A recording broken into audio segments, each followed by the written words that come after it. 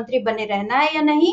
और ये कि उन्हें पद से हटाना है ये अधिकार एलजी का है और राष्ट्रपति का है और एलजी को अदालत कोई सलाह नहीं दे सकती, उन्हें खुद इस मामले पर निर्णय लेना होगा। ये आज दिल्ली हाईकोर्ट से कहा गया, जो कि केजरीवाल के लिए एक बड़ी राहत है।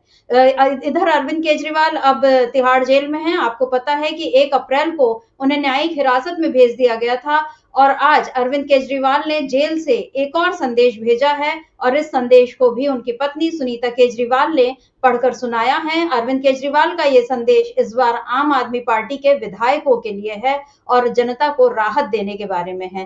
क्या कहा है अरविंद केजरीवाल की पत्नी ने और उन्होंने क्या, किस तरह इस संदेश को पढ़कर सुनाया है? क्या है संदेश में? आइए सुन लेते हैं। मैं सुनीता केजरीवाल, अरविंद केजरीवाल जी की धर्मपत्नी। आपके केजरीवाल जी ने सभी विधायकों के लिए जेल से संदेश भेजा है। मैं जेल में हूँ। इस वजह से मेरे किसी दिल्ली वासी को किसी तरह की तकलीफ़ नहीं होनी चाहिए। हर विधायक इलाके का रोज दौरा करे और लोगों से पूछे कि उन्हें कोई दिक्कत तो नहीं हो रही। जिसको जो समस्या हो, उसे दूर करे। और मैं केवल सरकारी विभागों की समस्याओं का समाधान करने की बात नहीं कर रहा हमें लोगों की बाकी समस्याओं का समाधान करने की भी कोशिश करनी है। दिल्ली के दो करोड़ लोग मेरा परिवार हैं। मेरे परिवार में कोई किसी वजह से भी दुखी नहीं होना चाहिए। भगवान सबका भला करे। जय हिंद।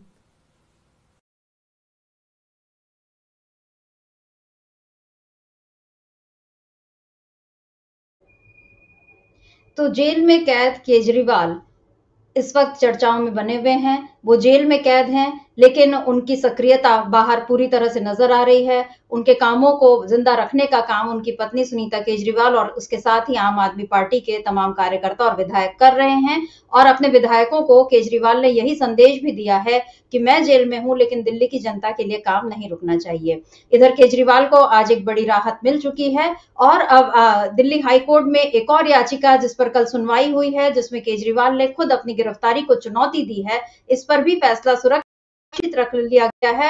जल्दी उस पर भी कोई फैसला आ सकता है लेकिन आज ये जो केजरीवाल को बड़ी राहत मिली है क्या है इस राहत के मायने? और क्या है केजरीवाल की आगे की रणनीति जिस तरह से वो संदेश पे संदेश भेजे जा रहे हैं? और अब आम आदमी पार्टी के एक और राज्यसभा सांसद जो है संजय सिंह जो जेल में बंद थे लेकिन उन्हें दो दिन पहले जम, जमानत मिल गई और कल वो जेल से रिहा हो गए। तो इस समय दिल्ली की सियासत जो है उसमें काफ़ी हलचल मची हुई है और इन हलचलों के बीच क्या होगा अब बीजेपी का और किस तरह? अब आम आदमी पार्टी किस रणनीति के साथ आगे बढ़ेगी? इन तमाम मसलों पर चर्चा के लिए हमारे साथ मौजूद हैं हमारे ऑनलाइन एडिटर अमलेंदु उपाध्याय जी। अमलेंदु जी आपका बहुत बहुत स्वागत करती हूँ इस कार्यक्रम में। अमलेंदु जी नमस्कार। सबसे पहला सवाल तो यही हम आ, सुनीता केजरीवाल के संदेश पर भी हम बात करेंगे लेकिन आज ये जो दिल्ली हाईकोर्ट से केजरीवाल को एक तरह से मानना चाहिए कि बड़ी जीत मिली है। क्योंकि हमने देखा अमलेंदु जी की पिछले हफ़्ते, यानी 28 मार्च को, अभी बहुत दिन नहीं हुए, एक और याचिका इसी तरह से खारिज कर दी गई थी, जिसमें भी यही मांग की गई थी कि अरविंद केजरीवाल को सीएम पद पर नहीं रहना चाहिए, उन्हें आप पद से हटाइए, ये मांग अदालत में की गई थी। उस वक्त अरविंद केजरीवाल ईडी की कस्टडी में थे, अभी वो न्यायिक हिरासत में हैं। लेकिन दोनों पर फैसला एक जैसा ही आया और इस याचिका को भी खारिज कर दिया गया। पिछली याचिका सुरजीत सिंह यादव ने दायर की थी, ये वाली याचिका विष्णु शर्मा ने दायर की है। विष्णु गुप्ता ने माफ़ कीजिए। तो अब इन दो याचिकाओं के इस तरह खारिज होने के बाद, और हम ये इस बीच सुन चुके हैं कि वी के सक्सेना जो एल हैं, उन्होंने ये टीवी के मन से तो ये कहा था कि हम उन्हें सीएम पद पर बने नहीं रहने देंगे और उन्हें इस तरह का काम करने का हक नहीं है। लेकिन अदालती कार्रवाई या कानूनी कार्रवाई अभी तक उन्होंने इस मामले पर कुछ भी नहीं की है। तो क्या ये केवल शिगुफेबाजी है कि ये केवल उनको बयान दे देकर ये बताया जा रहा है, माहौल बनाया जा रहा है कि अरविंद केजरीवाल सीएम है, लेकिन वो जेल में है तो सीएम पद पर बने रहकर वो कुछ गलत कर रहे हैं? क्या ऐसा कोई माहौल बनाया जा रहा है अमलेंदु जी? और क्या अब जिस तरह से हाईकोर्ट से राहत मिली है अरविंद केजरीवाल को ये क्या बीजेपी के लिए एक झटका है? भारतीय जनता पार्टी के लिए झटका है और ये झटका इसलिए है भारतीय जनता पार्टी के लिए कि इस तरीके की याचिकाएँ भारतीय जनता पार्टी के समर्थित लोग जो है वही लगा रहे हैं और एक माहौल बनाने की ये कोशिश की जा रही है कि साहब अरविंद केजरीवाल बहुत अनैतिक कार्य कर रहे हैं जेल के अंदर बंद हैं और ये अनैतिक है। इस पे भी आज हाई कोर्ट ने टिप्पणी की कि नैतिकता अनैतिकता जो है वो जो कॉन्स्टिट्यूशनल नैतिकता अनैतिकता है उसको एलजी जाकर के देखेंगे। ये देखना अदालत का काम नहीं है। अदालत में कानूनी बातें होती हैं। कानूनी रूप से कहीं कोई बाध्यता नहीं है कि अरविंद केजरीवाल मुख्यमंत्री नहीं रह सकते।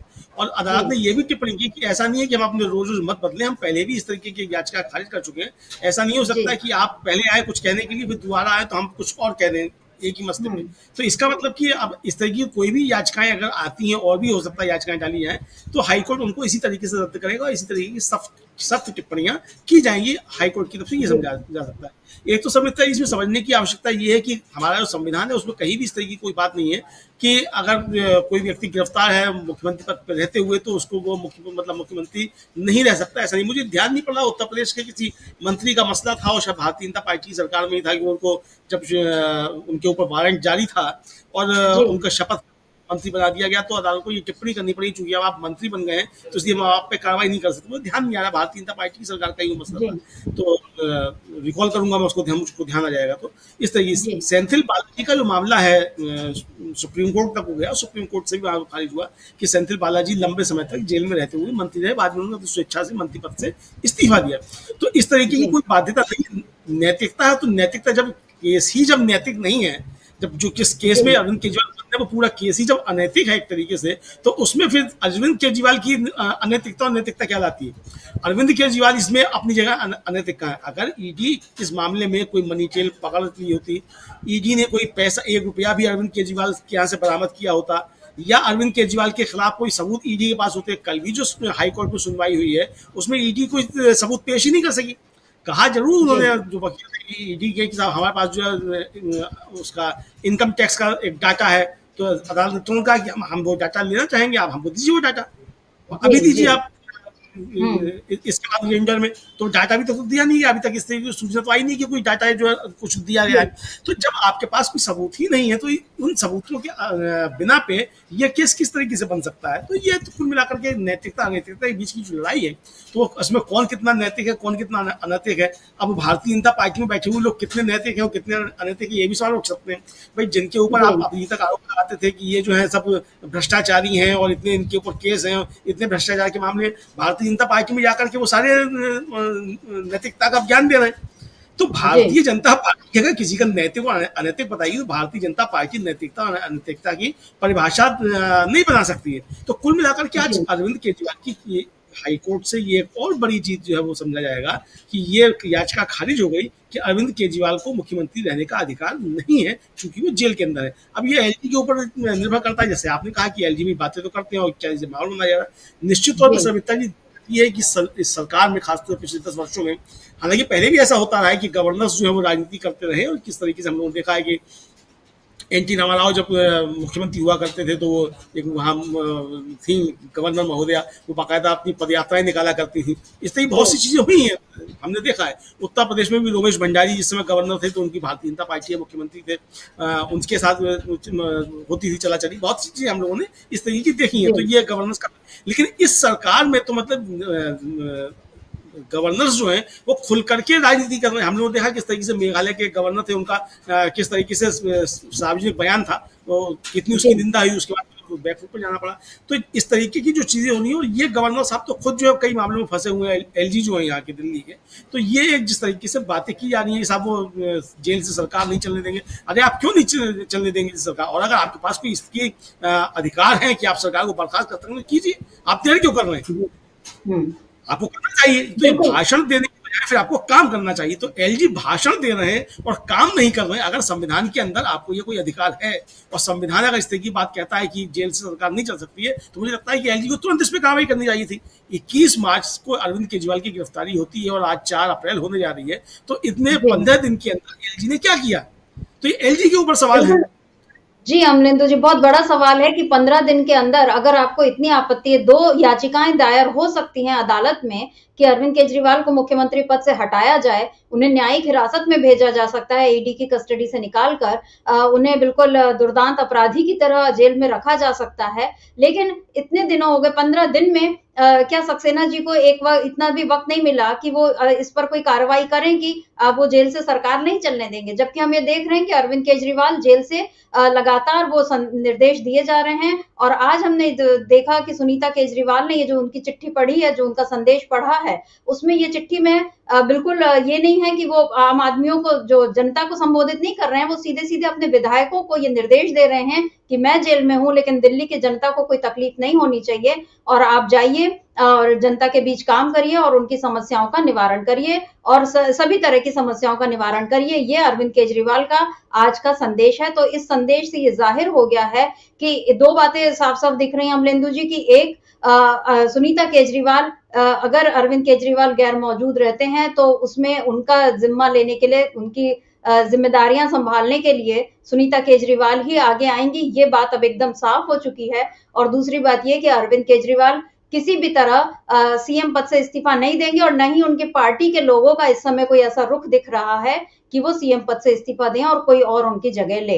कल संजय सिंह जेल से छूटे तो जेल से छूटने के बाद भी उन्होंने अपने कार्यकर्ताओं को ये संदेश दिया कि ये वक्त जश्न का नहीं है, ये वक्त अभी हमें संघर्ष करने का है और उन्होंने एक नारा सा भी दिया कि जेल के ताले टूटेंगे और सब अरविंद केजरीवाल छूटेंगे इस तरह की बात उन्होंने की, क्योंकि अभी इस समय अरविंद केजरीवाल, मनीष सिसोदिया और सत्येंद्र जैन, ये तीन बड़े नेता आम आम आदमी पार्टी के इस समय जेल में हैं। और संजय सिंह कल जो जमानत पे रिहा हुए हैं वो गए बाकायदा उन्होंने अरविंद केजरीवाल की पत्नी से मुलाकात की, मनीष सिसोदिया की पत्नी से मुलाकात की और अब ऐसा दिख रहा है कि आम आदमी पार्टी अब चुनाव प्रचार में भी जुटने वाली है। अमरिंदु जी, इस बीच कल जो तीन घंटे तक दिल्ली हाई कोर्ट में सुनवाई चली उसमें कल सुनवाई पर हमने बातचीत की थी और हमने देख रहे थे कि जो एस जी राजू हैं वो बिल्कुल ठोस दलीलें नहीं दे पा रहे थे। अभिषेक मनु सिंघवी ने जो जो मुद्दे उठाए, उन्होंने गिरफ्तारी के टाइमिंग पे बात की, उन्होंने मनी ट्रेल की बात की, उन्होंने पुख्ता सबूतों की बात की, लेकिन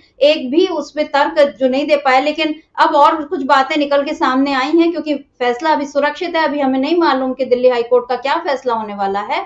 लेकिन कुछ और बातें सामने आई हैं जिसमें एक ये दलील थी कि केजरीवाल ने ये कहा था कि लोकसभा चुनाव के मद्देनजर ये, ये जो गिरफ्तारी है राजनीति से प्रेरित है। इस पर एएसडी राजू ने कहा था कि आतंकवादी का मामला ले लीजिए जो एक राजनेता भी है वो सेना के वाहन को उड़ा देता है और कहता है कि मैं चुनाव लड़ना चाहता हूँ इसलिए आप मुझे छू नहीं सकते यह किस तरह का तर्क है?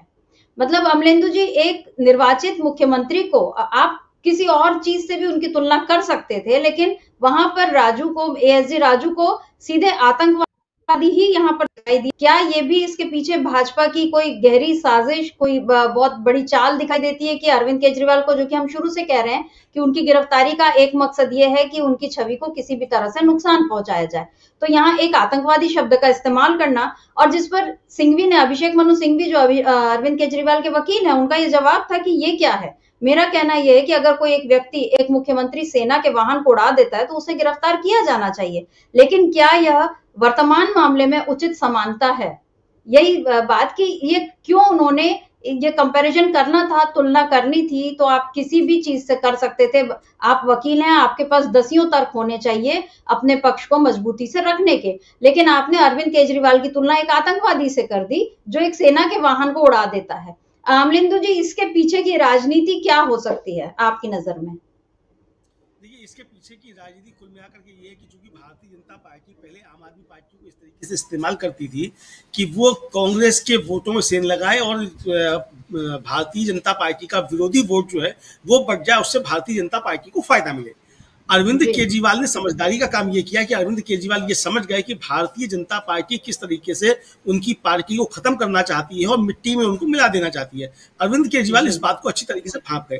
अरविंद केजरीवाल मजबूती के साथ इंडिया गठबंधन के साथ खड़े हो गए और अरविंद केजरीवाल के इंडिया गठबंधन में शामिल होते ही एक तरीके से कहा जाए देश का परिदृश्य बदल गया सर मित्रा जी। खासतौर से दो बड़े राज्यों का जहाँ से भारतीय जनता पार्टी को शत प्रतिशत सीटें आती है दिल्ली और गुजरात। गुजरात से भारतीय जनता पार्टी की सारी सीटें भारतीय जनता पार्टी के पास है दिल्ली की भी सारी सीटें भारतीय जनता पार्टी के पास है। और दोनों जगह भारतीय जनता पार्टी को फ़ायदा इस बात का मिलता था कि भारतीय जनता पार्टी विरोधी वोट जो था वो आम आदमी पार्टी और कांग्रेस में बढ़ जाता था। अब ये स्थिति बदल गई और जिस तरीके से अरविंद केजरीवाल इंडिया गठबंधन में शामिल हुए और इंडिया गठबंधन के सारे लोग अरविंद केजरीवाल के साथ मजबूती के साथ खड़े हुए दिखाई दिए उससे एक चीज़ समझ में आ गई कि ये सब मिला के जो है ये सब मिला करके जिस तरीके से चीज़ें हो रही हैं इससे भारतीय जनता पार्टी को नुकसान पहुँचा है। ये चीज़ समझ में अच्छी तरीके से आ गई। तो अब अरविंद केजरीवाल जिस तरीके से साथ में हैं इंडिया गठबंधन के उससे भारतीय जनता पार्टी को नुकसान होना शुरू हुआ। तो अब ये सीधा सीधा प्रहार अरविंद केजरीवाल के ऊपर शुरू हुआ कि अच्छा आप अगर इंडिया गठबंधन के साथ जाते तो हम आपको अब और ज़्यादा नुकसान पहुंचाएँगे। और अरविंद केजरीवाल ने बाकायदा प्रेस कॉन्फ्रेंस करके ये बात कही उनके तमाम पार्टी के बड़े नेताओं ने प्रेस कॉन्फ्रेंस करके ये बात कही कि दबाव डाला जा रहा है कि आप इंडिया गठबंधन को छोड़ दीजिए तो आपके ऊपर कोई कार्रवाई नहीं होगी।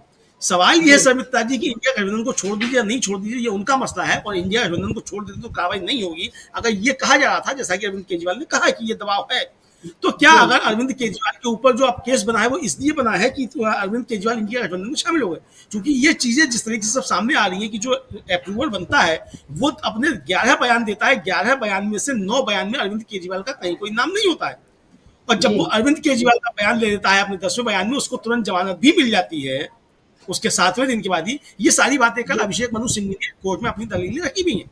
तो ये जिस तरीके की सब चीज़ें आई तो अब ये प्रयास ये किया जा रहा है कि किस तरीके से अरविंद केजरीवाल की छवि को अब नुकसान पहुँचाया जाए और ये संदेश देने की कोशिश की जाए कि अरविंद केजरीवाल के संबंध तो राष्ट्र विरोधी ताकतों के साथ में क्योंकि राष्ट्रवाद की ठेकेदार तो भारतीय जनता पार्टी है। हालाँकि मुझे समझता हूँ कि इस पर बहस होनी चाहिए कि राष्ट्रवाद क्या है और देशभक्ति क्या है।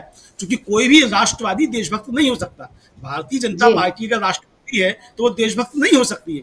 तो सवाल ये अरविंद केजरीवाल कहते हैं कि हम कट्टर देशभक्त हैं। अब उनके जितने भी संदेश आ रहे हैं, उसमें कह रहे हैं कि वो देशभक्त है। यानी अरविंद केजरीवाल भी स्वयं को देशभक्त कह रहे हैं, राष्ट्रवादी नहीं कहना है। तो मुझे लगता है कि ये वो एक छोटी सी लाइन है, जहाँ से आम आदमी पार्टी और भारतीय जनता पार्टी को भी अलग करके देखा जा सकता है कि कौन राष्ट्रवादी है और कौन देशभक्त तो देशभक्ति की जो परिभाषा, उसमें अरविंद केजरीवाल फिट बैठ रहे हैं वो ये बात बात यही कह रहे हैं। तो भारतीय जनता पार्टी लगातार अरविंद केजरीवाल के ऊपर अब जो प्रहार कर रही है, वो इसलिए प्रहार कर रही है क्योंकि उसे दिख गया कि अरविंद केजरीवाल जो है वो भारतीय जनता पार्टी के साथ में नहीं है, किसी भी तरीके से और इंडिया गठबंधन के साथ मजबूती से खड़े हुए हैं। तो ये सारी चीज़ें सामने आने के बाद जो है अब ये चीज़ें समझ में आ गई भारतीय जनता पार्टी को कि दिक्कत जो है वो बहुत ज़्यादा होने वाली है। तो इसलिए अरविंद केजरीवाल के ऊपर इस तरीके प्रहार की जा रही है छवि को खराब करने का प्रयास किया। कल अभिषेक मनु सिंह जी ने कोर्ट में भी इस बात को कहा कि आप जो है सिर्फ़ हमारे मुवक्किल को, यानी अरविंद केजरीवाल को आप बदनाम करना चाहते हैं, उनकी छवि को धूमिल करना चाहते हैं, इसलिए आपने जो है ये गिरफ्तारी की है सब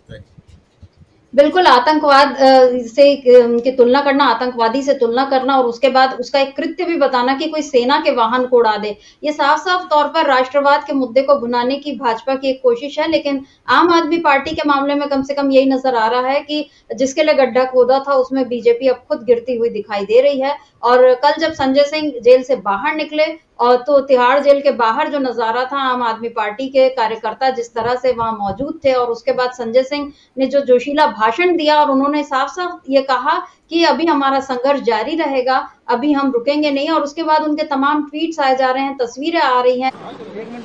बजरंग बली जी का दर्शन करने जा रहा हूँ। रुके न जो झुके न जो जी रहे हैं इसलिए कि प्यार जग में जी सके, प्यार जग में जी सके, प्यार जग में जी सके। आदमी का खून कोई आदमी न पी सके, आदमी न पी सके, आदमी न पी सके। मालिको मालिको मजूर के, नौकरों, हुजूर के, फ़र्क को मिटाएँगे, समानता को लाएँगे। रुके न जो, रुके न जो, रुके न जो, दबे न जो, मिटे न जो। हम वो इनकलाब है, जुल्म का जवाब है। हर शहीद हर गरीब का हमें तो ख्वाब है। रुके न जो, झुके न जो। मानते नहीं है फ़र्क हिंदू मुसलमान का, हिंदू मुसलमान का, हिंदू मुसलमान का।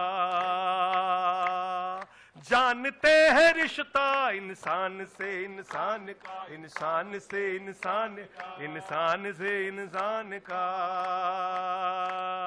जाति के जाति के, धर्म के, भाषा और वेश के द्वंद को मिटाएँगे, समानता को लाएँगे। रुके न जो, रुके न जो, झुके न जो, दबे न जो, मिटे न जो। हम वो इनकलाब हैं, जुल्म का जवाब है। हर शहीद, हर गरीब का हमें तो ख्वाब है। रुके न जो झुके न जो, रुके न जो, झुके न जो। भारत! तो आपने देखा, ये संजय सिंह थे जो कल जेल से बाहर आए और उन्होंने एक इंकलाबी गीत गाया। इस तरह के गीत वही लोग गाते हैं जो जनता से जुड़े होते हैं, जो ज़मीन पर काम करते हैं और कल संजय सिंह ने ये बता दिया कि छह महीने तक भले वो जेल में थे, लेकिन अब जब वो जेल से बाहर आ गए हैं तो वो वापस उसी जोश से काम करने के लिए तैयार हैं। और यही जोश आम आदमी पार्टी के कार्यकर्ताओं में भी कल उन्होंने भरने की कोशिश की। आपको बता दूँ कि आज संजय सिंह दो तीन जगहों पर गए। एक तो वो उन्होंने हनुमान मंदिर पर जाकर पूजा की अपने परिवार के साथ, और दूसरा वो महात्मा गांधी की समाधि राजघाट भी गए। और वहाँ राजघाट से बाहर निकलकर उन्होंने पत्रकारों से कहा कि वो देश में बराबरी और समानता का माहौल लाने के लिए काम करते रहेंगे। क्या कहा है संजय सिंह ने? इसको भी सुन लेते हैं। बजरंग बली जी का दर्शन करने जा रहा हूँ और वहाँ से फिर बापू, राष्ट्रपिता महात्मा गांधी जी की समाधि पर जाऊँगा। राजघाट। कल कार्यकर्ताओं ने जिस तरह और उसके बाद सत्येन जी के घर जाऊँगा। और दिन में ही किसी समय फिर से आज अरविंद जी के भी घर जाएँगे। कल कार्यकर्ताओं ने जिस तरह का स्वागत किया क्या कुछ कहेंगे? ये हमारे कार्यकर्ताओं का उत्साह है जो ये बताता है कि इस अत्याचार और अन्याय के खिलाफ लड़ने के लिए इस तानाशाही के खिलाफ लड़ने के लिए आम आदमी पार्टी का एक एक कार्यकर्ता तैयार है और आम आदमी पार्टी का एक एक कार्यकर्ता अपने मुखिया अरविंद केजरीवाल के साथ सीना तान के मजबूती से खड़ा है। संजय सिंह ने बता दिया कि आम आदमी पार्टी का एक एक कार्यकर्ता अपने मुखिया अरविंद केजरीवाल के साथ सीना तान के खड़ा है और आज अरविंद केजरीवाल का भी संदेश आ गया, उनके विधायकों के नाम। और इस बीच हम आपको बता रहे हैं कि आज दिल्ली हाईकोर्ट से अरविंद केजरीवाल को एक बड़ी राहत मिली है। विष्णु गुप्ता की एक याचिका थी, जिसमें उन्होंने कहा था कि अरविंद केजरीवाल को सीएम पद से हटाया जाए। इस पर अदालत ने इस याचिका को खारिज कर दिया। दिल्ली हाईकोर्ट ने इस याचिका को वापस कर दिया और कहा कि हम इस मामले पर सुनवाई नहीं करेंगे, क्योंकि ये फैसला लेने का हक एलजी का है। और हम एलजी को कोई सलाह नहीं दे सकते, उन्हें मर्ज़ी है तो वो कोर्ट में जाएँ।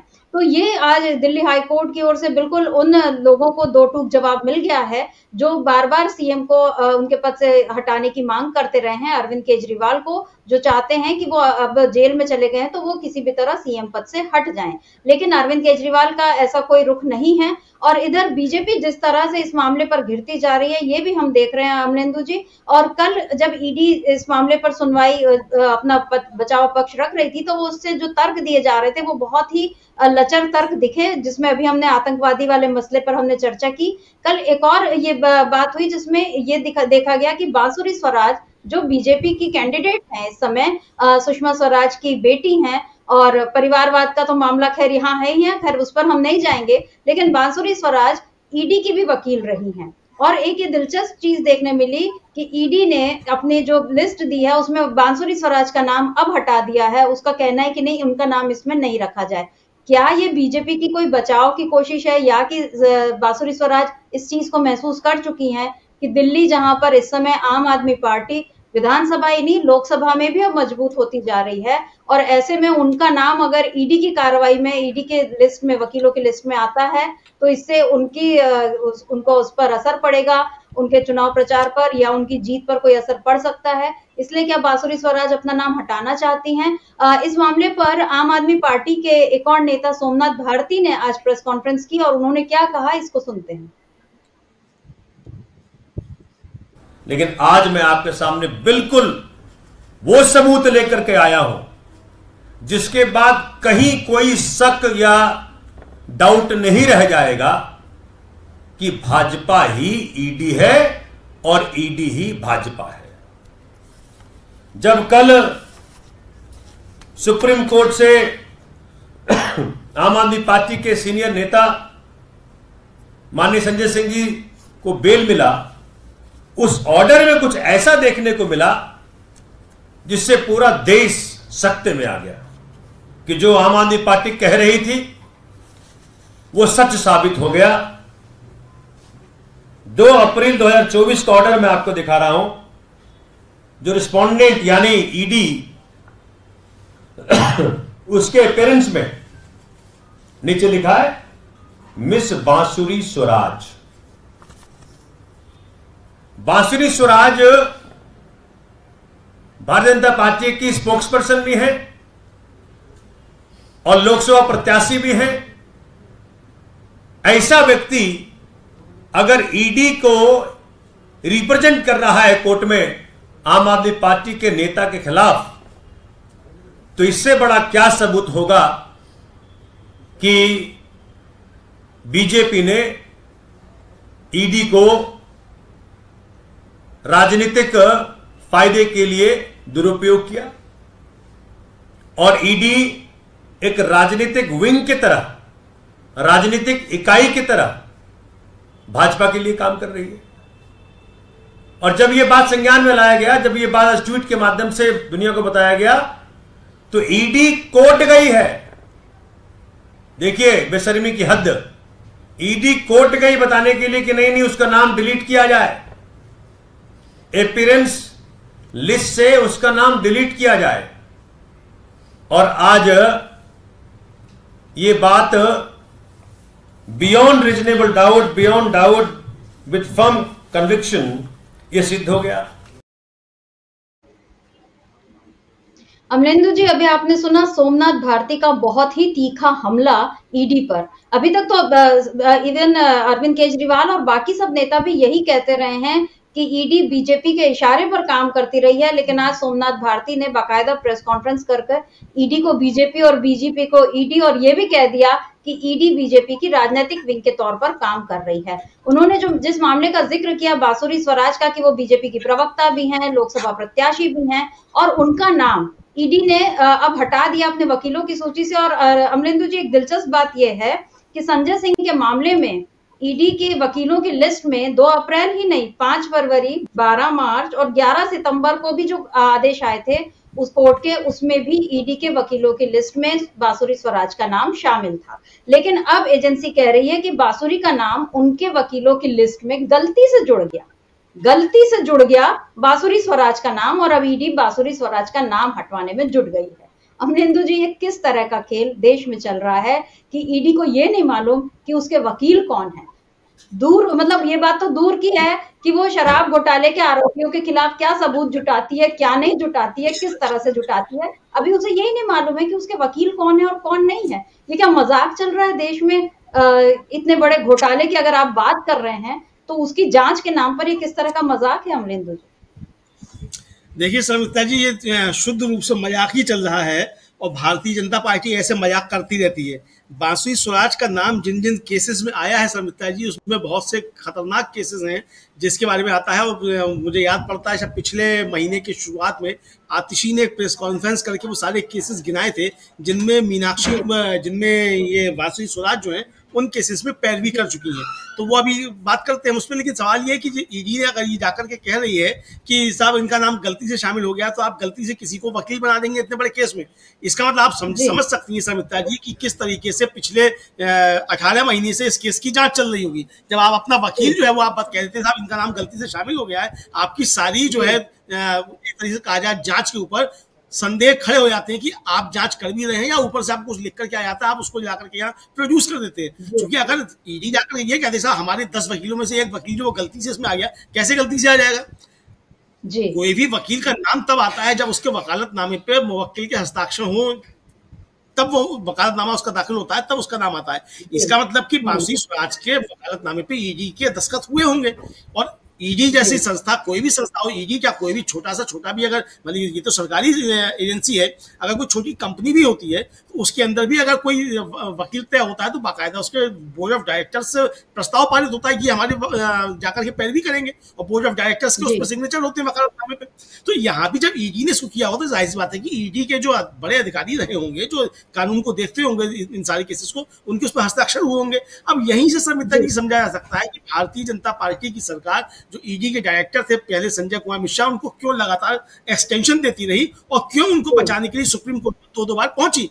अब आप समझ सकती हैं कि सारी प्रक्रिया किस तरीके से और किस तरीके से क्या क्या गड़बड़ियाँ जो वो होती रही ईडी के नाम पर पे अब जो आतिशी ने जो प्रेस कॉन्फ्रेंस की थी शायद चार या तीन मार्च की है सविता जी तो उन्होंने कहा था कि नई दिल्ली से मीनाक्षी लेखी का टिकट काटकर बीजेपी ने ऐसे उम्मीदवार को टिकट दिया है जो बार बार कोर्ट में देश हित के खिलाफ खड़ी रही है देश के विरोधियों का बचाव करती रही है मैं बांसुरी स्वराज की बात कर रही हूँ एक वकील जनता के हित की लड़ाई के लिए होता है लेकिन वो किसके हक हक की लड़ाई लड़ती आई हैं?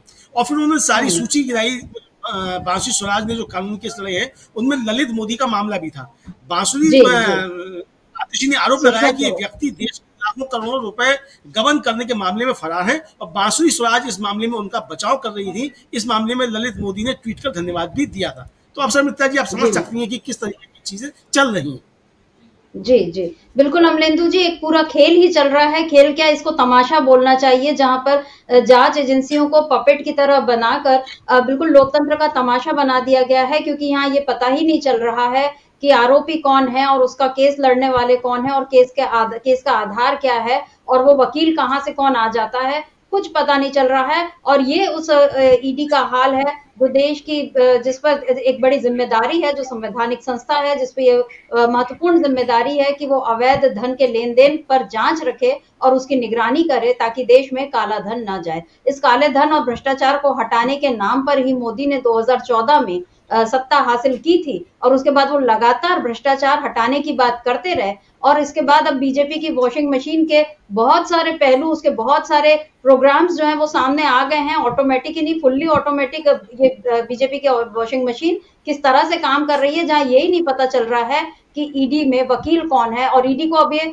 बासुरी स्वराज का नाम हटाना पड़ रहा है। ये बिल्कुल इसके पीछे एक राजनीतिक साजिश दिखाई दे रही है, अमलेंदु जी, क्योंकि मीनाक्षी लेखी का टिकट काट कर बासुरी स्वराज को दिया गया टिकट। सुषमा स्वराज की वो बेटी हैं, सुषमा स्वराज, भाजपा की दिग्गज नेता रही, विदेश मंत्री रही। अब उनकी डेथ हो चुकी है, लेकिन उनकी बेटी अब राजनीति में आई हैं। भाजपा की निगाह में, मोदी की निगाह में ये परिवारवाद नहीं है, ये मोदी के परिवार का एक नमूना है, जहाँ पर एक नेता के बच्चे को टिकट दे दी जाती है बिना किसी उसके जनाधार का पता किए। लेकिन यहाँ पर यह दिख रहा है कि अब बासुरी स्वराज को इस मामले से तकलीफ़ हो सकती है खास तौर पर दिल्ली में, क्योंकि दिल्ली विधानसभा में हमेशा आपका परचम तीन बार से लहराता रहा है, लेकिन इस बार जबकि लोकसभा चुनाव होने हैं तो ये दिख रहा है कि अरविंद केजरीवाल को जेल में डालकर बीजेपी ने अपने पैरों पर कुल्हाड़ी मार ली है। और कल जिस तरह से दिल्ली हाईकोर्ट में अरविंद केजरीवाल ने अपनी गिरफ्तारी को चुनौती दी और वहाँ ये कहा कि ये टाइमिंग की बात है और गलत नियत से मुझे इस तरह से गिरफ़्तार किया गया है ताकि मैं लोकसभा चुनाव में न जा पाऊँ। इन तमाम बातों का बहुत गहरा असर जनता तक हो सकता है। इसका अंदाज़ा बीजेपी को लग गया है और अब बीजेपी डिफेंसिव मोड में आकर खेल खेल रही है, ये इस समय नज़र आ रहा है। इधर हम बात कर रहे थे अमलेंदु जी, संजय सिंह की भी, कल जो रिहा हुए और उन्होंने आज वो गए राजघाट और राजघाट से बाहर निकलकर संजय सिंह ने क्या कहा? इसको एक बार सुनते हैं, फिर आगे बढ़ते हैं। बापू को हमेशा इसलिए याद किया कि उन्होंने अंग्रेज़ों के शासन के खिलाफ लड़ाई लड़ी। क्यों लड़ी? क्योंकि इस वक्त बोलने की आज़ादी नहीं थी, स्वतंत्रता के साथ जीने की आज़ादी नहीं थी, और इसलिए बापू ने इस देश को आज़ाद कराने के लिए अपना पूरा जीवन न्यौछावर कर दिया। आज आज़ादी के 77 साल के बाद ऐसी परिस्थिति इस देश में पैदा हो गई है। हम लोगों ने गांधी जी की समाधि पर यह प्रार्थना किया कि हे प्रभु, हे राष्ट्रपिता जी आप जहाँ कहीं भी हैं, इस सरकार को भी सन्मति दें, इस सरकार को भी सद्बुद्धि दें कि वो इस देश के लोगों की आज़ादी के साथ, स्वतंत्रता के साथ, लोकतंत्र के साथ, संविधान के साथ खिलवाड़ करना बंद करें। तो यहाँ अमलेंदु जी, हमने सुना संजय सिंह को, जो ये कह रहे हैं कि सद्बुद्धि दें, सन्मति दें। आपको क्या लगता है कि क्योंकि हमने देखा कि आम आदमी पार्टी के कार्यालयों में, अभी जब हमने सुनीता केजरीवाल का भी जो संदेश सुना, उसमें एक और भगत सिंह थे अंबेडकर थे, और बीच में अरविंद केजरीवाल की सीखों के पीछे वाली तस्वीर जो थी, ये एक लग गई है दीवार पर। लेकिन गांधी जो है अब तक आम आदमी पार्टी के कार्यालयों में और उसमें दीवार पर कहीं दिखाई नहीं देते थे, लेकिन आज संजय सिंह आम आदमी पार्टी के राज्यसभा सांसद जेल से छूटने के बाद बजरंग बली के मंदिर में मत्था टेकने के बाद वो पहुँचे राजघाट और वहाँ वो बापू को नमन कर रहे हैं उनके सिद्धांतों को आदर्शों को याद कर रहे हैं और वो ये कह रहे हैं कि अब सबको सन्मति दे। अमरेंद्र जी आपकी इस पर टिप्पणी। देखिए समिता जी असल में गांधी को लेकर के इस देश में बहुत बहस होती रहती है और गांधी को लेकर के तमाम लोगों के अपने अपने विचार हो सकते हैं। जिस तरीके से आम आदमी पार्टी के बैनर से और उनके दफ्तरों से गांधी गायब हुए थे अब गांधी की महत्ता जो है वो फिर से समझ में आने लगी है आम आदमी पार्टी को भी। ये एक अच्छा संकेत हो भारतीय जनता पार्टी की परेशानी भी यही है सरमिता जी क्योंकि उसे गांधी से प्यार करने वाले और गांधी के सिद्धांतों को मानने वाले हर व्यक्ति से दिक्कत होती है। तो प्रधानमंत्री बातें भले ही कुछ भी करते हों लेकिन प्रधानमंत्री के मन में कौन रहता है और भारतीय जनता पार्टी किसके आदर्शों पर चलती है, सारा देश जानता है, सारी दुनिया जानती है। आप जब विदेश में जाते हैं, तब आपको गांधी याद आते हैं और जब आप देश के अंदर आते हैं तो आपको जो है सावरकर और गोलवलकर याद आते हैं। आप विदेश में जाकर के सावरकर और गोलवलकर के नाम पे आप बात नहीं करते हैं चूँकि आपके पास कहीं नहीं कुछ कहने के लिए सावरकर और गोलवलकर के नाम पे। तो गांधी आपकी चूँकि बाहर जाकर के मजबूरी हो जाते हैं तो इसलिए आपको गांधी याद आते हैं। तो आज संजय सिंह जिस तरीके से गांधी की समाधि पे पहुँचे हो जिस तरीके से गांधी को उन्होंने नमन किया है गांधी की बात की कहा है कि सबको सहमति दे भगवान ये निश्चित तौर पर सरमिता जी मतलब देश में इस बात का संकेत है कि गांधी की महत्ता और बढ़ती जा रही है। मैं तो समझता हूँ सरमिता जी कि तमाम लोगों को जो गांधी से प्यार करते हैं गांधी के सिद्धांतों को प्यार करते हैं उनको भारतीय जनता पार्टी का ये शुक्रिया अदा करना चाहिए कि भारतीय जनता पार्टी की वजह से गांधी की महत्ता देश के अंदर और बढ़ती जा रही है। क्योंकि भारतीय जनता पार्टी और उसके पिछलग्गू जितना गांधी को और कोसेंगे और गांधी के ऊपर जितना हमला करेंगे गांधी की महत्ता उतनी ही बढ़ती जाएगी। आज अगर संजय सिंह गांधी की समाधि पर जा रहे हैं तो निश्चित तौर पर भारतीय जनता पार्टी का इसमें बड़ा योगदान है क्योंकि भारतीय जनता पार्टी अगर इस तरीके से जुल्म नहीं करती तो संजय सिंह भी गांधी की समाधि पर नहीं पहुँचते। तो संजय सिंह गांधी की समाधि पर पहुँच रहे हैं तो इसमें भारतीय जनता पार्टी को शुक्रिया जो है देना बनता है तमाम लोगों का कि भारतीय जनता पार्टी का शुक्रिया अदा किया जाए कि वो और लोगों के ऊपर जुल्म करे और लोग भी गांधी की शरण में पहुँचे और भारतीय जनता पार्टी का चेहरा जो है वो अच्छे तरीके से बेनकाब होगी भारतीय जनता पार्टी किस तरीके से जुल्म करती है सर बिल्कुल अमलेंदु जी क्योंकि भारतीय जनता पार्टी के सामने हमेशा ये बड़ी चुनौती रही है कि गांधी या गोड से हमने देखा कि अभी कलकत्ता हाई कोर्ट के वकील जज जिन्होंने हाल ही में भाजपा की सदस्यता ग्रहण किया और उनसे भी जब ये सवाल किया गया गांधी या गोड से तो उन, उनको सोचने के लिए वक्त चाहिए था। तो ये बिल्कुल ज़ाहिर हो गया कि जो भाजपा के साथ जाएगा वो गोडसे का हिमायती रहेगा और गांधी वाले दूसरे पक्ष में खड़े रहेंगे और इस देश को गांधी के नक्शे कदमों पर ही चलकर मुक्ति मिल सकती है या हम कहें कि विकास मिल सकता है या सही मायनों में आम आदमी का भला हो सकता है। ये चीज़ बिल्कुल आज एक बार फिर साफ़ हो गई जब संजय सिंह ने भी गांधी की समाधि पर जाकर ही आ, उसके बाद ये सारी बातें कही अमलेंदु जी। और राहुल गांधी हमेशा ये कहते रहे हैं कि उनकी विचारधारा बिल्कुल साफ़ है कि जो उनके साथ है यानी वो गांधी के साथ है और जो दूसरी ओर है यानी वो संघ और गोडसे की जो विचारधारा है वो एक और है। लेकिन अमरेंदु जी इस समय आम आदमी पार्टी और कांग्रेस एक ही ओर है। तो इसका मतलब अब आम आदमी पार्टी में भी एक बड़ा बदलाव हमको आने वाले दिनों में देखने मिल सकता है। सुनीता केजरीवाल का जो संदेश था, उसमें पीछे बेशक अभी अरविंद केजरीवाल हैं शिक्षकों के पीछे, क्योंकि एक वो तस्वीर, उस तस्वीर के भी क्या मायने हो सकते हैं? अमरिंदु जी, क्या ये जो जिस तरह से तस्वीर में बदलाव किया गया मतलब चाहते तो वो आम आदमी पार्टी के नेता जो है वो अरविंद केजरीवाल की सीधी सीधी तस्वीर भी लगा सकते थे। लेकिन हमने देखा कि इंडिया की जो रामलीला मैदान में रैली हुई बड़ी जो रैली हुई, उसमें भी अरविंद केजरीवाल की वही तस्वीरें थी जिसमें वो जेल की सलाखों के पीछे दिख रहे हैं। और आज सुनीता केजरीवाल ने वैसा ही एक जो उस तस्वीर के सामने बैठकर ये संदेश पढ़ा, क्या ये अरविंद केजरीवाल की और कोई रणनीति है? क्योंकि वो जनता की नफ्स पकड़ने में माहिर हैं। क्या कहेंगे आप अमलेंदु जी? निश्चित तौर पे जनता की नब्ज पकड़ने में केजरीवाल माहिर है इसमें कोई शक नहीं सर मित्रा जी और दूसरी बात ये कि देखिए हमारा जो देश का इतिहास है और जो हम लोग अपनी जनता की नब्ज को जानते हैं वो अच्छे तरीके से जानते हैं कि अगर आप किसी के ऊपर जुल्म करते हैं तो जनता फिर उसके पक्ष में खड़ी हो जाती है जिसके ऊपर आप जुल्म करते हैं। ये साफ़ समझ में आ रहा है कि इस समय केजरीवाल के ऊपर जुल्म किया जा रहा है। तो केजरीवाल के ऊपर जुल्म किया जा रहा है तो आम आदमी पार्टी इसको और भुनाना चाहती है कि हमारे ऊपर जुल्म किया जा रहा है और केजरीवाल को किस तरीके से जेल, जेल की सलाखों के पीछे डाला गया। मुझे लगता है समिता जी भारतीय जनता पार्टी की पूरी रणनीति ये है कि जब तक कि दिल्ली का और गुजरात का चुनाव पूरा नहीं हो रहा था तब तक किसी भी तरीके से केजरीवाल को बाहर नहीं निकलने दिया ये भारतीय जनता पार्टी की अपनी रणनीति है उसके ज़रिए एजेंसी के ज़रिए काम कराया जा रहा है। लेकिन ये रणनीति भारतीय जनता पार्टी की भारतीय जनता पार्टी को उल्टी पड़ने जा रही है ये मेरा अपना आकलन है। और वो इस आधार पर मैं कह रहा हूँ कि जनता के बीच में अरविंद केजरीवाल को लेकर के और एक तरीके से कहा जाए सहानुभूति बढ़ती जा रही है जहाँ अरविंद केजरीवाल का आधार है।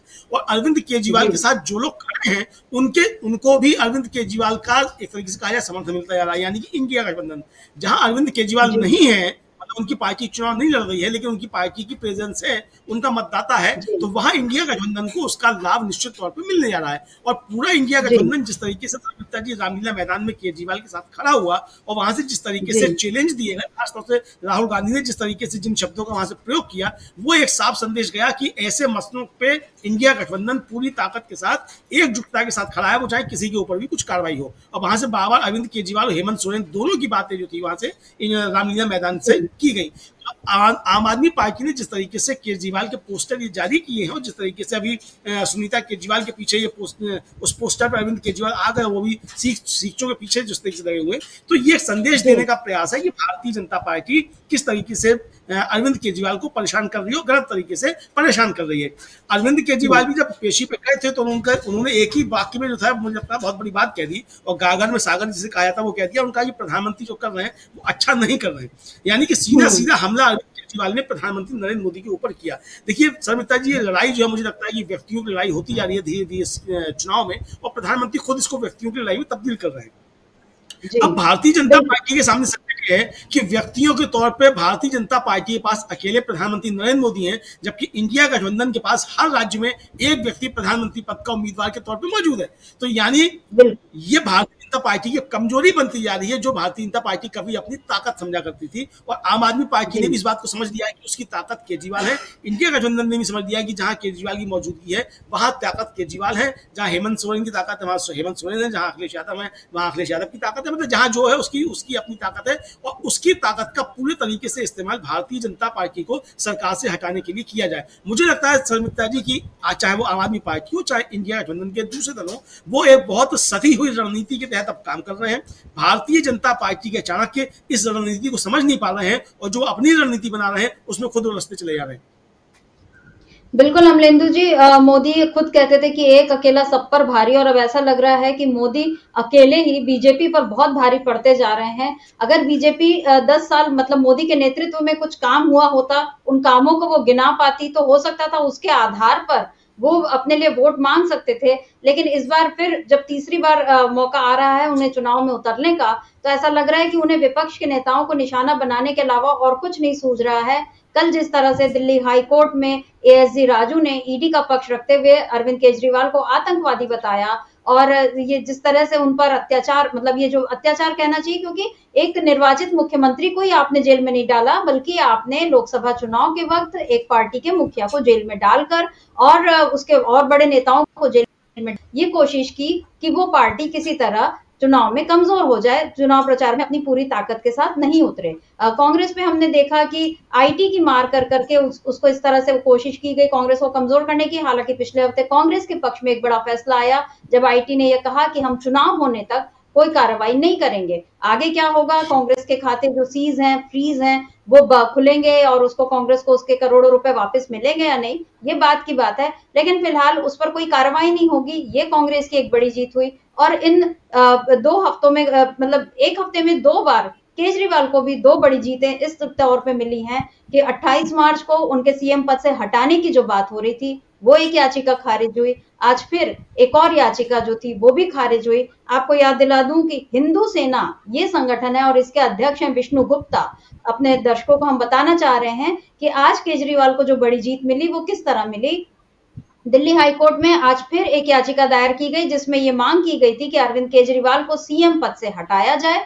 क्योंकि वो जेल में है और वो जेल से काम नहीं कर सकते। इस पर आज दिल्ली हाई कोर्ट की मुख्य न्यायाधीश, कार्यवाहक मुख्य न्यायाधीश हैं मनमोहन और न्यायमूर्ति मनमीत प्रीतम सिंह अरोड़ा। इनकी खंडपीठ ने यह कहा ये केजरीवाल का निजी फैसला होगा कि उन्हें मुख्यमंत्री बने रहना है या नहीं। यानी कोर्ट ने इस बात को केजरीवाल पर छोड़ दिया कि आप चाहे तो इस्तीफा दें, आप चाहे तो बने रहें पद पर। ये केजरीवाल के लिए बहुत बड़ी जीत है और आपको याद दिला दें कि 28 मार्च को सुरजीत सिंह यादव ने भी ऐसी ही एक पीआईएल यानी जनहित याचिका दायर की थी और जिसे हाईकोर्ट ने इन्हीं आधार पर खारिज कर दिया था कि ये हमारा काम नहीं है, हम ये नहीं तय कर सकते कि कौन सीएम पद पर बने रहे या नहीं बना रहे। ये तय करना एलजी का काम है। और आज जो अदालत ने ये भी कहा कि कई बार व्यक्तिगत हित को, राष्ट्रीय हित के ऊपर रखना चाहिए तो इस बात का भी अपने तरीके से आप अनुमान लगा सकते हैं कि ये बात किस लिए कही गई, किस संदर्भ में कही गई। अब इसके अलग अलग इंटरप्रिटेशन हो सकते हैं। कोई ये कह रहा है कि ये केजरीवाल को नसीहत है लेकिन दूसरी ओर ये बात बीजेपी के लिए भी नसीहत हो सकती है कि आप इस समय अब एक राष्ट्रीय हित के बारे में सोचें कि जिस मुख्यमंत्री को निर्वाचित किया है इस देश की दिल्ली की दो करोड़ जनता ने आप उसे किस तरह जेल में भी रहकर आप ये मना कर रहे हैं कि वो सीएम ना बना रहे ये गलत बात है। ये भी इस, इसका एक इंटरप्रिटेशन हो सकता है। बहरहाल कोर्ट की कार्रवाइयाँ अपनी ओर चलती रहेंगी लेकिन आज एक और बड़ा फैसला आने की उम्मीद है दिल्ली हाईकोर्ट से, जहाँ कल दिल्ली हाईकोर्ट ने अरविंद केजरीवाल की एक और याचिका पर तीन घंटे तक सुनवाई की थी, जिसमें अभिषेक मनु सिंघवी ने ये बात उठाई थी कि क्यों केजरीवाल को गिरफ़्तार किया गया है, उनका दोष क्या है, मनी ट्रेल कहाँ है? अमलेंदु जी, कल ईडी ने इस पर कोई क्या जवाब दिए? इसके कुछ कुछ खुलासे अब हो रहे हैं, लेकिन बात हो रही है सबूतों की, जिसके बारे में ये कहा गया कि आयकर विभाग के कुछ कुछ सबूत हैं। बात ये भी थी कि ईडी शायद उसको अरविंद केजरीवाल का एप्पल फ़ोन है, जो आईफोन वो उसको खोल नहीं पा रही है, उनसे पासवर्ड मांग रही है। और उसने एप्पल से भी ये खबर थी कि संपर्क किया था कि आप इसे खोल के दीजिए तो एप्पल ने भी इससे इनकार कर दिया, क्योंकि ये निजता का हनन है। तो आखिर इस मामले को कहाँ तक ले जाया जाएगा? क्योंकि देश दुनिया में अब इस पर चर्चा हो रही है। दिल्ली में पूरे मीडिया की निगाहें रहती है, पूरे दुनिया के मीडिया की निगाहें रहती हैं। अमेरिका, जर्मनी और यूनाइटेड नेशंस के बाद बहुत सारे मामले अब इस तरह से हो रहे हैं दिल्ली में, जिस जिस पर और भी देश आवाज़ उठा सकते हैं। और आप कहाँ तक लोगों को दूसरे देशों को आप बिल्कुल ये सलाह दीजिए, ये नसीहत दीजिए कि आप हमारे आंतरिक मामलों में दखल ना करें। लेकिन जहाँ इस तरह लोकतंत्र पर हमला होता दिखेगा तो क्या दुनिया के जो वाकई लोकतांत्रिक देश हैं, वो चुप बैठेंगे अपरेंदु जी? क्या किसी न किसी तरह से टिप्पणियाँ नहीं की जाएँगी? इसी संदर्भ में एक और बात याद दिलाना चाहती हूँ। श्रीलंका के जो बहुत सारे अखबार हैं, कल क्या उनका जो संपादकीय था, वो कच्छती वो द्वीप को लेकर था और जिसमें उस द्वीप पर जो अभी पीएम मोदी ने टिप्पणी की, जिसमें उन्होंने कहा कि ये इंदिरा गांधी ने गलत किया और हमारी ज़मीन दे दी और इसे एक मुद्दा बनाया उन्होंने, मेरठ की रैली में तमिलनाडु का मुद्दा उठाया और उसको इस मामले को अब आगे बढ़ाया जा रहा था। तो उस पर अब श्रीलंका के, हालाँकि सरकार ने अभी तक श्रीलंका सरकार की ओर से कोई बयान नहीं आया, लेकिन वहाँ के मीडिया ने इस बात को बहुत प्रमुखता से उठाया और इसमें साफ़ साफ़ मोदी की आलोचना की कि तमिलनाडु में चुनाव है, यानी लोकसभा चुनाव है और तमिलनाडु में बीजेपी की स्थिति अच्छी नहीं है, इसलिए अब इस मामले को उठाया जा रहा है। तो आप दुनिया की आवाज़ को रोक नहीं सकते। अमरिंदु जी, अब इस मामले में जो अरविंद केजरीवाल का जो मामला है, इस मामले में भी दुनिया पर, दुनिया भर की निगाहें बनी हुई हैं। क्या लगता है इससे केवल मोदी की साख पर असर पड़ेगा या इससे भारत की लोकतांत्रिक छवि भी कहीं ना कहीं उस पर भी कोई चोट लगेगी? देखिए समिता जी, एक तो मोदी की अपनी कोई साख नहीं है। पहली बात तो ये है, मोदी की अपनी कोई साख नहीं है। मोदी की जो भी साख है वो भारत के प्रधानमंत्री के तौर पर साख है। वरना इन्हीं मोदी का वीज़ा जो था वो अमेरिका ने देने से मना कर दिया था जब ये गुजरात के मुख्यमंत्री थे। अगर अगर इनकी कोई साख थी तो जाते गुजरात के मुख्यमंत्री रहते हुए अमेरिका में घुस जाते नहीं घुस पाए। तो आज भी मुझे लगता है कि अगर कल मोदी जी प्रधानमंत्री नहीं रहते तो फिर इनका वीज़ा जो अमेरिका नहीं देगा इनको वीज़ा। तो ये स्थितियाँ पैदा हो सकती है। तो जो भी स्थिति है वो भारत के प्रधानमंत्री के तौर पर है। सबसे बड़ी बात यह है कि प्रधानमंत्री नरेंद्र मोदी ने अपने पिछले दस वर्षों के कार्यकाल में भारत की छवि को बुरी तरीके से नुकसान पहुँचाया है। अभी हम लोगों ने कल भी बात की थी कि अभी जो सूची जारी हुई है कि भारत के जो प्रभावशाली देश हैं उनमें भारत पहले से लेकर दसवें नंबर तक भारत शामिल नहीं है। जबकि प्रधानमंत्री बताते हैं कि वो विश्व गुरु बन चुके हैं। तो भारत बारह नंबर पर पहुँच गया। और ये सत्तर सालों में पहली बार है कि भारत जो है प्रभावशाली देशों की वन टू टेन जो सूची है टॉप टेन की सूची से भारत बाहर हो गया है। तो ये सत्तर सालों में पहली बार हुआ प्रधानमंत्री मोदी के प्रधानमंत्री होते हुए रहा। तो उनकी कोई छवि नहीं है। निश्चित तौर पे प्रधानमंत्री नरेंद्र मोदी की कार्यप्रणाली और भारतीय जनता पार्टी की सरकार की जो कार्यशैली है वो भारत के लोकतंत्र की छवि को बुरी तरीके से धूमिल कर रही है। मुझे लगता है समिता जी की ये शायद पहली बार हो रहा है कि संयुक्त राष्ट्र संघ जो है, वो हमारे आंतरिक मामलों में हस्तक्षेप एक तरीके से कर रहा है और उसको बयान जारी करने पड़ रहे हैं। अमेरिका कह रहा है कि हम जो है भारत के अंदर जो गतिविधियाँ चल रही हैं और जो न्यायिक गतिविधियाँ मतलब न्यायिक गतिविधियों तक के ऊपर भारत जो है वो टिप्पणी कर रहा है कि हम इस पर नज़र बनाए हुए हैं। इसी तरीके से जर्मनी करता है। यूरोपीय संसद जो है, वो मणिपुर को लेकर के भारत के खिलाफ प्रस्ताव पारित करती है, जबकि प्रधानमंत्री उस समय जो ऑस्ट्रेलिया में होते हैं। ऑस्ट्रेलिया में प्रधानमंत्री जाते हैं तो वहाँ भारत के खिलाफ, यानी प्रधानमंत्री के खिलाफ वहाँ जब ज़बरदस्त तरीके से प्रदर्शन होते हैं। तो ये सारी चीज़ें जिस तरीके से निश्चित तौर पर प्रधानमंत्री नरेंद्र मोदी के प्रधानमंत्री रहते हुए भारत की छवि को ज़बरदस्त तरीके से नुकसान पहुँचा है और इसकी भरपाई तभी हो सकती है जब प्रधानमंत्री नरेंद्र मोदी प्रधानमंत्री ना रहे और भारत अपने पुराने रास्ते पर लौटे।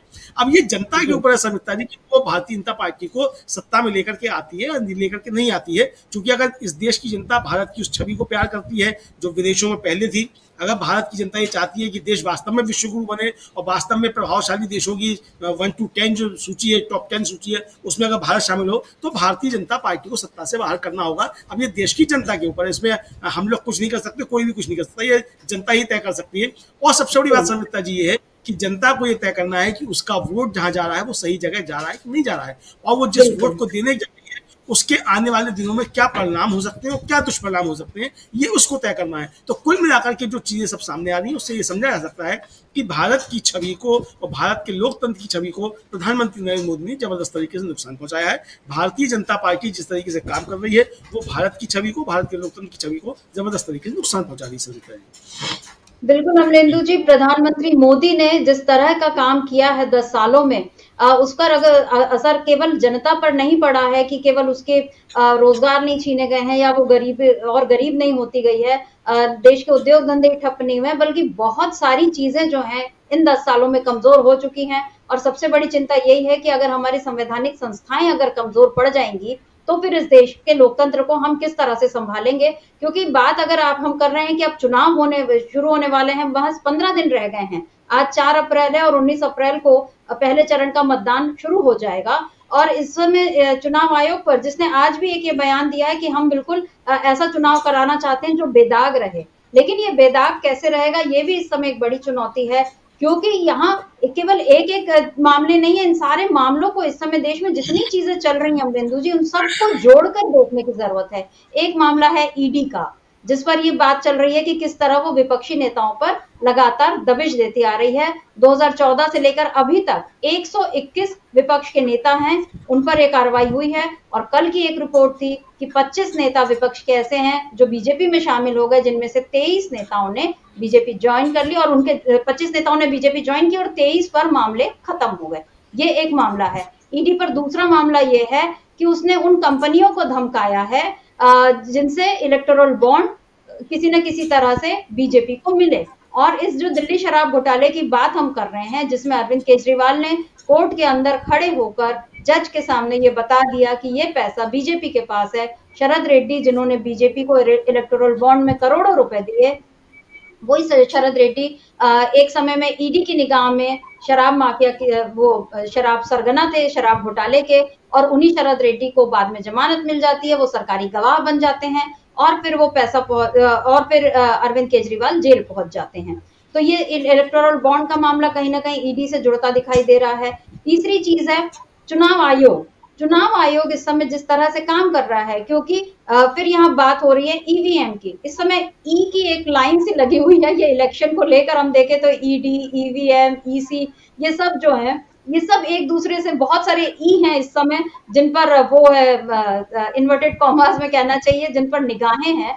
तो इस समय ईवीएम को लेकर भी सवाल उठ रहे हैं और सुप्रीम कोर्ट ने एक याचिका पर सुनवाई को मंजूरी दे दी है, जिस पर अगले हफ़्ते सुनवाई होनी है। वीवीपैट का पूरा मिलान हो, ये कहा जा रहा है कि वीवीपैट जो पर्ची निकले और ईवीएम में जो बटन दबाई जाए, उसका पूरा मिलान हो। अमरेंदु जी, क्या अगर इस पर कोई बड़ा फैसला आता है, क्योंकि बात यह भी हुई थी भाई, आप कोर्ट में ये कहा गया था कि एडीआर ने कहा था कि आप इस पे जल्दी सुनवाई कीजिए, क्योंकि चुनाव होने के बाद अगर ये इस पर कोई फैसला आएगा तो उसका कोई अर्थ नहीं रह जाएगा।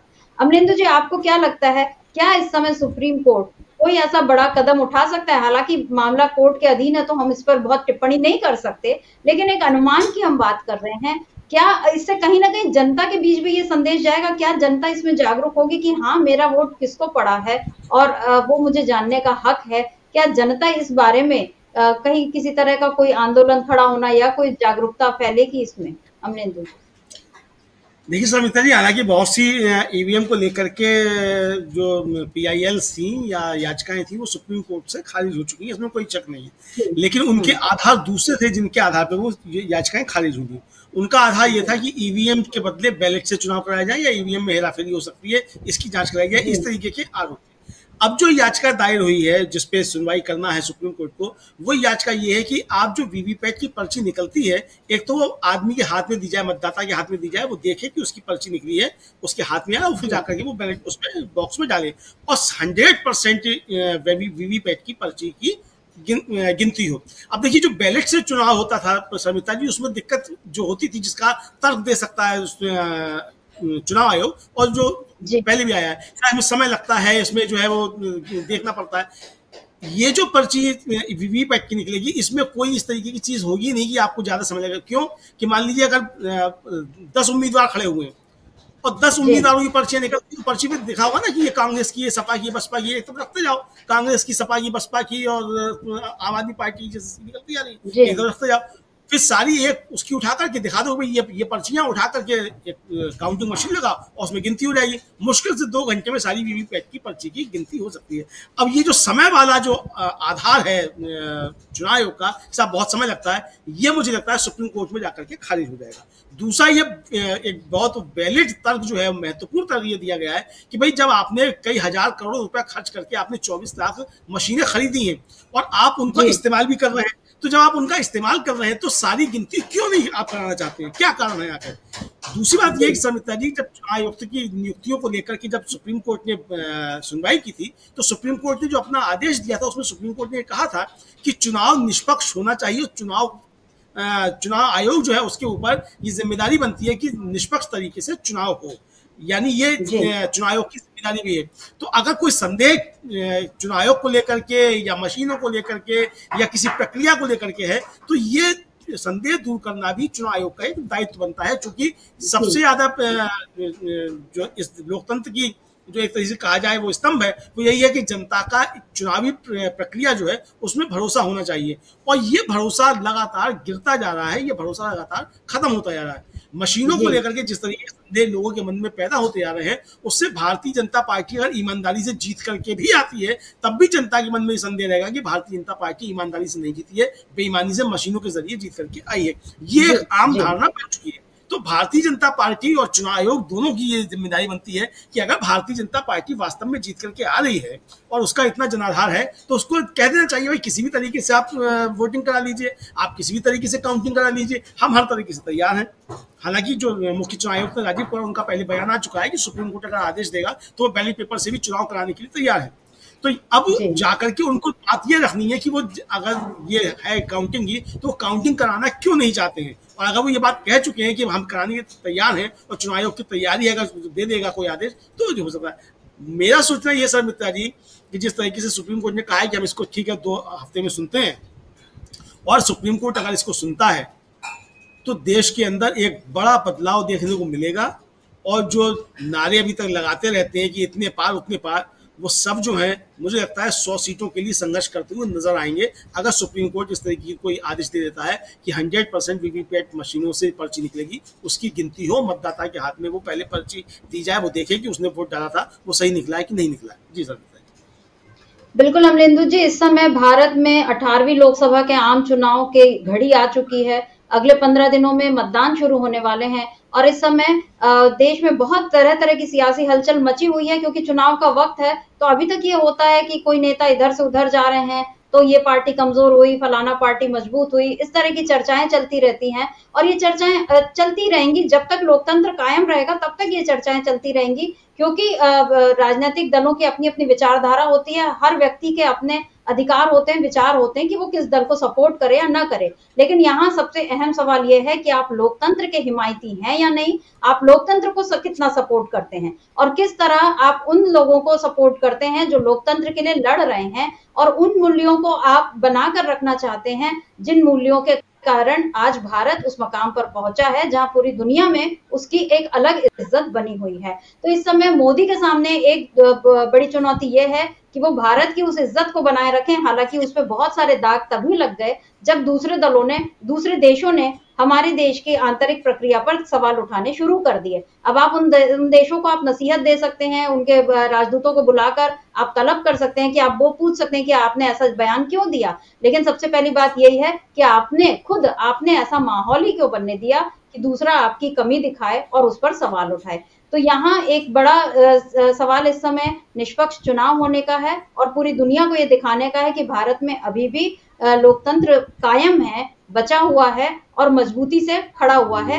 ये एक बड़ा सवाल यहाँ पर बना हुआ है और इस समय अरविंद केजरीवाल की जिस तरह से गिरफ्तारी हुई और उस गिरफ्तारी को जो चुनौतियाँ दी जा रही हैं तरह तरह से, एक चुनौती तो खुद अरविंद केजरीवाल ने दी है कि आपने मुझे गलत तरीके से गिरफ़्तार किया आ, मेरी गिरफ्तारी का कोई आधार नहीं है। इस पर दिल्ली हाईकोर्ट का बड़ा फैसला आना है।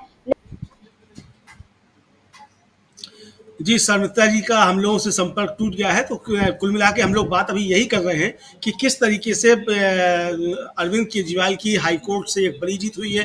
देश के सामने इस समय क्या क्या समस्याएँ हैं और किस तरीके से ये समस्याएँ बढ़ती जा रही हैं और किस तरीके से, एक तरीके से कहा जाए कि संघर्ष जो है वो भारतीय जनता पार्टी और इंडिया गठबंधन के बीच में बढ़ता चला जा रहा है। कुल मिलाकर के हम इसी पे अभी तक चर्चा कर रहे हैं और हमने अभी तक ये चर्चा की कि किस तरीके से अरविंद केजरीवाल को जिस तरीके से परेशान करने की कोशिश की जा रही है और जिस तरीके से अरविंद केजरीवाल के ऊपर शिकंजा कसने की कोशिश की जा रही है, उसके राजनीतिक निहितार्थ क्या है? अदालतों के अंदर जो कार्रवाई चल रही है, उन कार्रवाई का क्या अर्थ है और किस तरीके से ये कार्रवाई की जा रही हैं, ये भी हम जो है वो देखने की एक तरीके से इस पर कोशिश कर रहे हैं और हमने इसकी एक, कहा जाए समीक्षा करने की कोशिश की है कि इस अदालती कार्रवाई के पीछे कितना भ्रष्टाचार के खिलाफ लड़ाई है और कितना ये राजनीतिक मामला है।